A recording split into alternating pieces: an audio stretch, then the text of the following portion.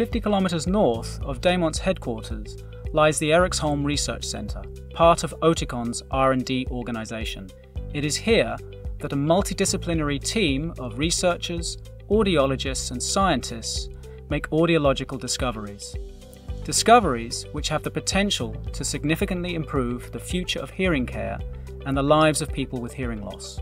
When Eriksholm Research Centre was established more than 40 years ago, the aim was unconventional to create a centre for audiological research and knowledge exchange that would be free to think unlimited thoughts and go beyond technology to encompass all aspects of hearing.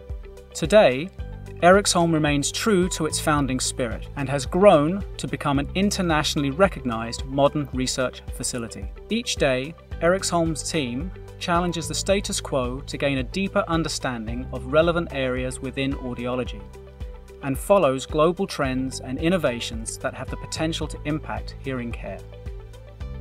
Through close cooperation with leading academic research institutions around the world, Eriksholm is able to create mutually beneficial synergies.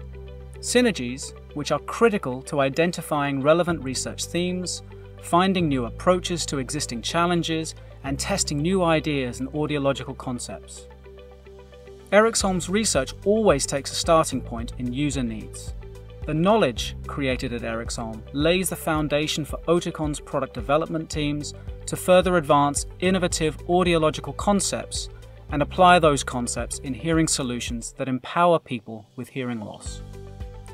Innovation is Eriksholm's essence, its history, its present, and a commitment for the future.